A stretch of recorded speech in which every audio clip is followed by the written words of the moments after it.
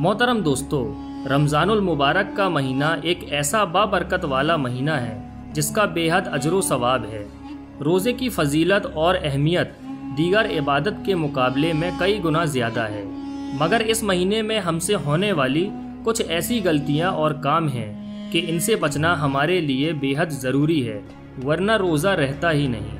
कुछ ऐसी गलतियाँ हैं कि काम तो जायज़ है, मगर वो हद से आगे बढ़ जाए। तो उनकी वजह से इंसान का रोज़ा मुतासर हो जाता है और इंसान की नेकी नहीं रह पाती।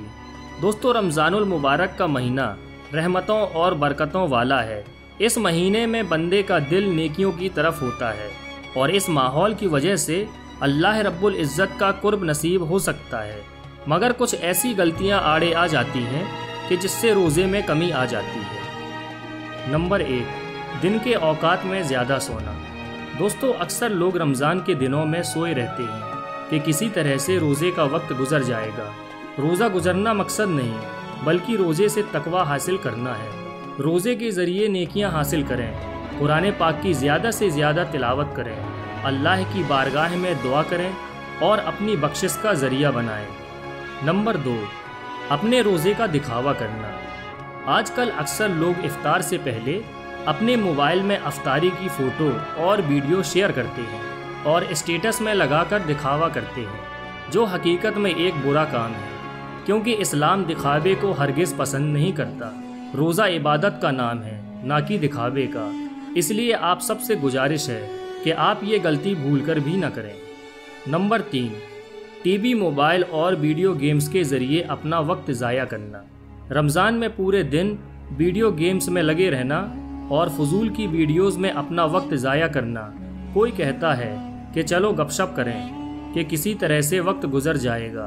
तो रमज़ान का वक्त बेकार में गुजारने के लिए नहीं है, बल्कि इस बरकतों वाले महीने से फ़ायदा उठाएँ। इसके ज़रिए नेकियाँ कमाना चाहिए।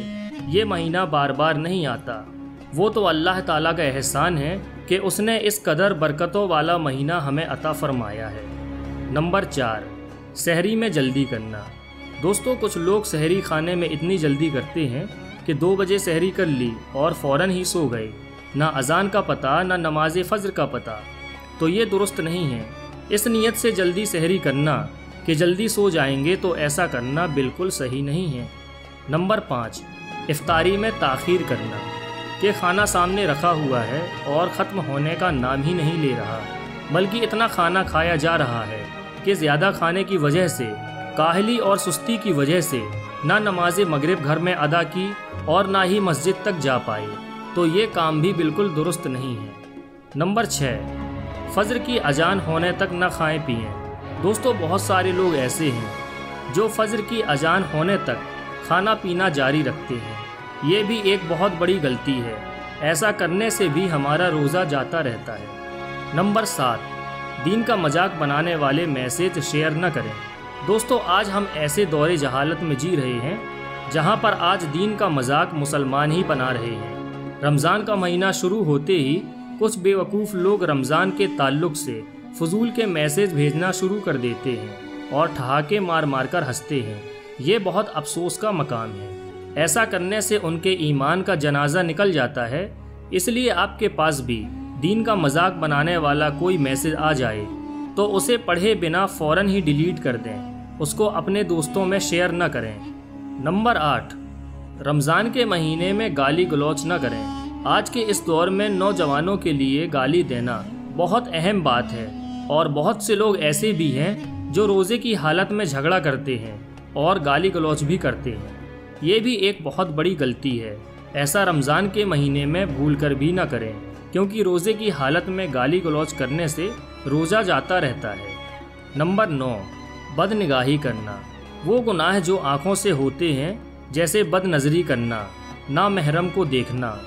जिनको देखना शरीयत ने मना किया है, चाहे वो सामने हो या मोबाइल या कंप्यूटर स्क्रीन पर तो ये बहुत बड़ा गुनाह है, और ऐसा करने से आपके रोज़े में कमी आ जाएगी। नंबर दस, किसी की बुराई करना या किसी की गीबत सुनना।